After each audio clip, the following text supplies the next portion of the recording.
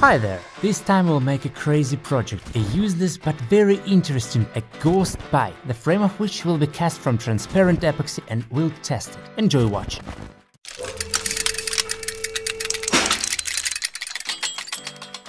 An old bicycle with a classic frame was taken as a donor. Andrew arrived at the workshop and it. The first step is to disassemble the bike to the bare frame. In general, this story began with the fact that Andrew came at my place, and I claimed the idea to him to make a transparent frame. Without thinking twice, he said that he didn't see any particular difficulties if I took over the work in epoxy. On this and agreed.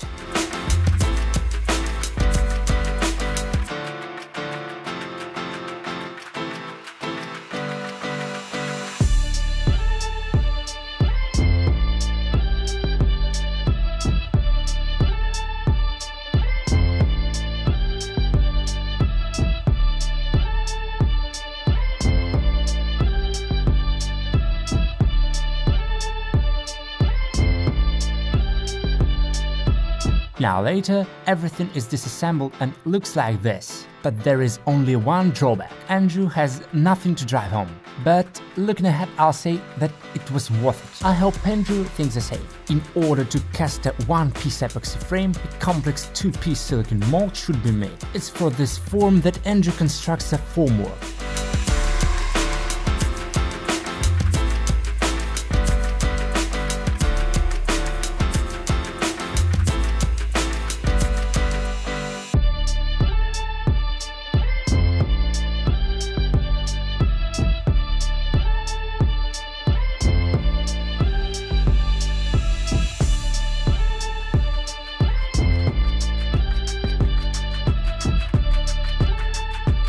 A sarcophagus made of laminated chipboard.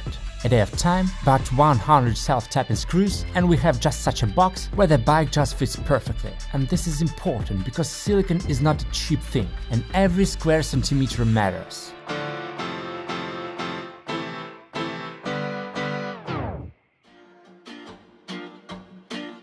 In order to remove the silicon mold from the frame without problems, it should be prepared. The first step is to grind and remove all unnecessary elements.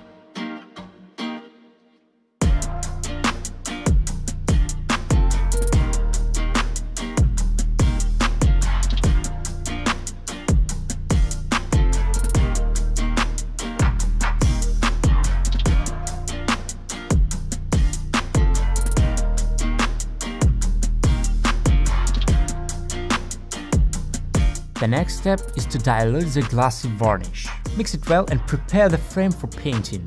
Degrease, wipe and now you can apply the varnish.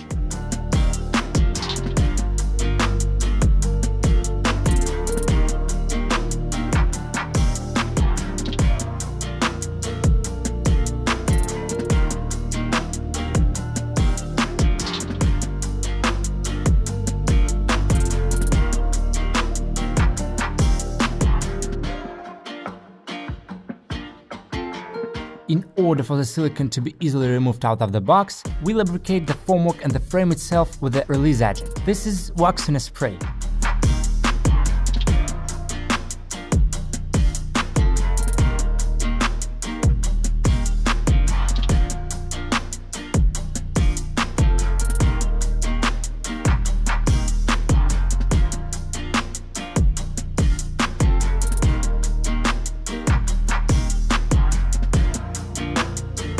So the frame is finally prepared and lies in the finished formwork. Now you can dilute the mold silicon and pull the first layer.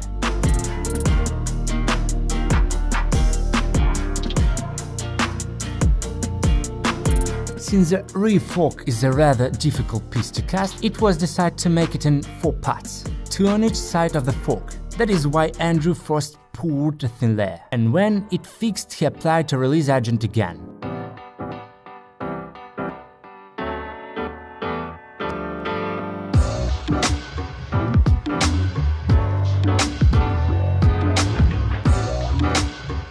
Next step is to dilute the same silicon and fill in the mating part of the first part of the fork. Yes, it sounds complicated, and in fact not very simple, but in the end we should have a clear reusable form. This is very important, since it's far from a fact that we'll get such a complex fill the first time.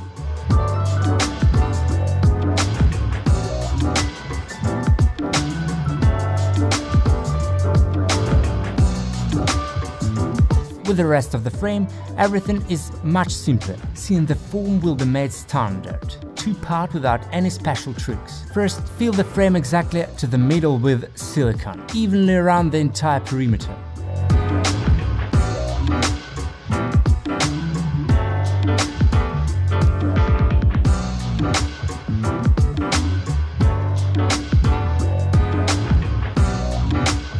Then wait until the silicone grabs. Apply a release agent and pack it to the top with silicone. And this is how two-part form is made.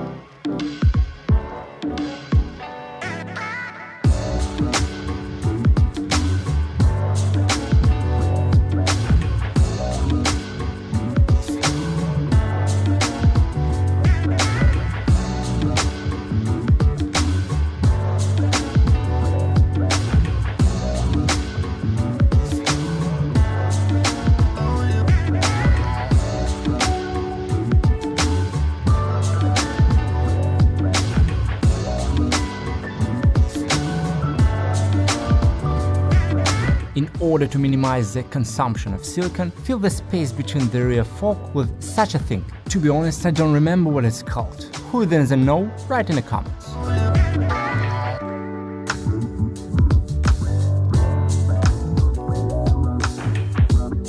We are pouring silicon directly onto this grey thing. It's quite thick and should remain in place.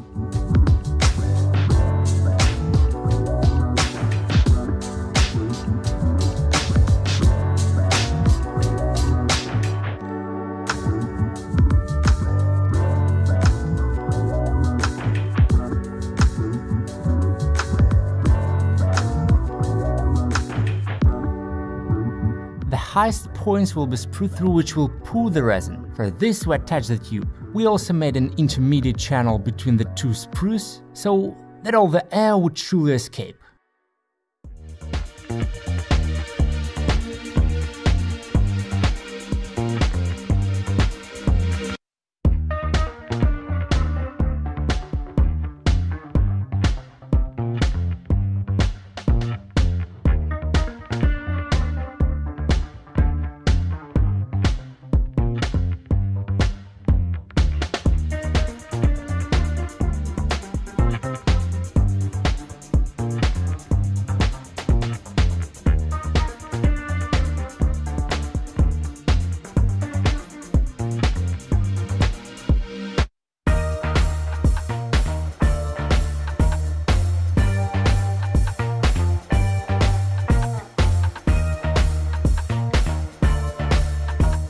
Result, all this took more than 15 kilograms of silicon and a couple of weeks of work. The next day, when the final layer of silicon has dried, we carefully disassemble the formwork, since it will still be useful to us. As you can imagine, these numbers on the formwork are not accidental. They will greatly facilitate the work when we reassemble the puzzle.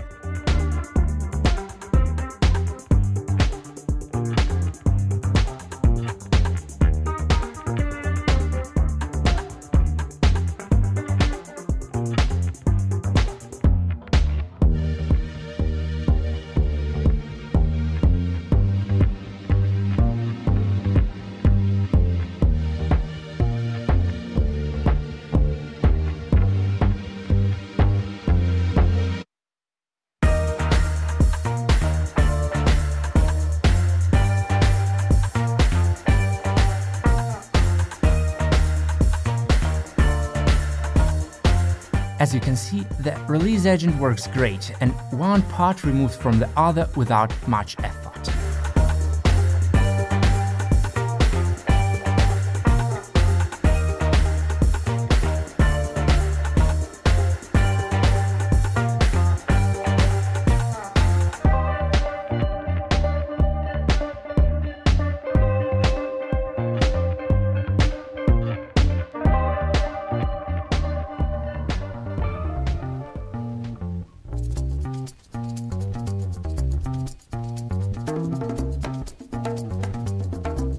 Subsequently, all this was assembled. in the same way as it was disassembled, the only thing is that we put part in the mold that could not be built into the epoxy frame. This is a fork in a carriage, as it's called. Well, when all the elements are loaded into the form and the form into the formwork, we start filling.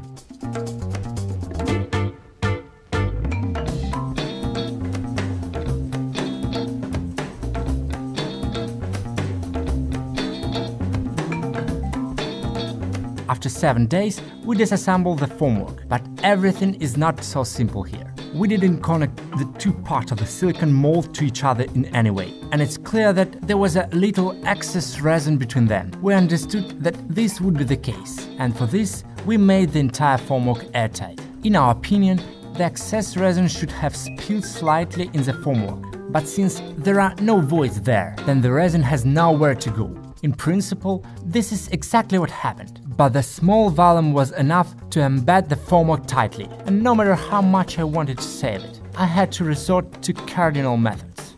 And of course, I can't wait to see the result, at least with one eye. Yes, Andrew has been assembled all day, and I carefully disassembled.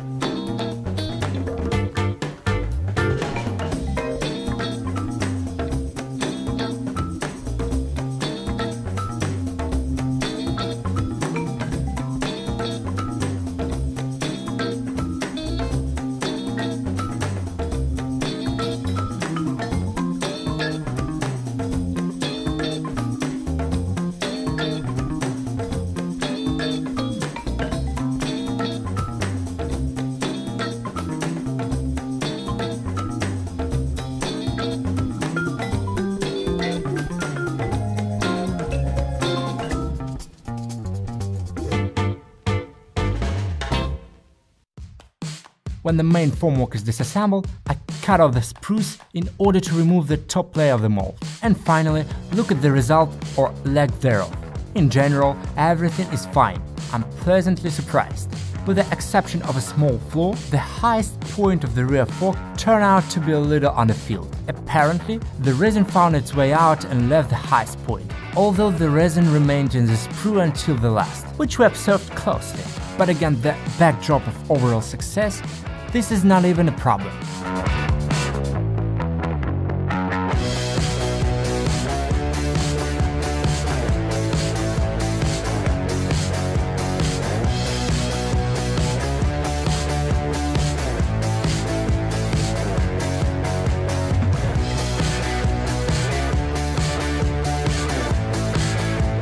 As you remember, we put the fork in the mold beforehand. It was also greased with wax in advance and here you can clearly see how the resin removed from the process part. This is necessary in order for the handlebar to turn, and the bike was at least more or less functional.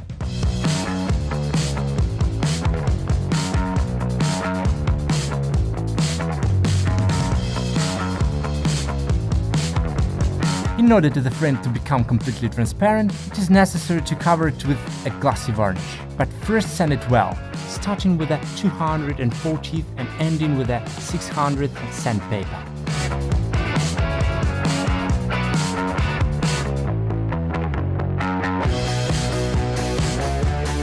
We add the place that has not spilled to the top by making such a local formwork from scotch tape.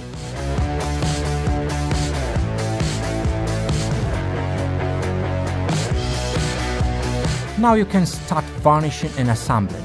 It's clear that this is not a bike for everyday. This is just a project from the category What If. Having looked at the finished result with Andrew, we realized that we can also make transparent wheels, a handlebar and a fork, in general a complete ghost bike. We have already thought about how to make it correctly. Of course, this is a complex, time-consuming and costly project. If you support and help with the promotion of this video, then in the near future we will add the second part, where you'll see a completely transparent bike, as well as its crash test. We will check how long and with what loads it will be possible to ride on it. And given that the seat is also made of epoxy, it will be quite spectacular. In general, if you think that such content is worthy of your attention, then the best way to promote it is to share this video anywhere, as well as give a like and a long comment. All this will take less than a minute. And in return, we will devote a month of our time to the second part. How do you like it? Thanks for watching and catch positive attacks from the X.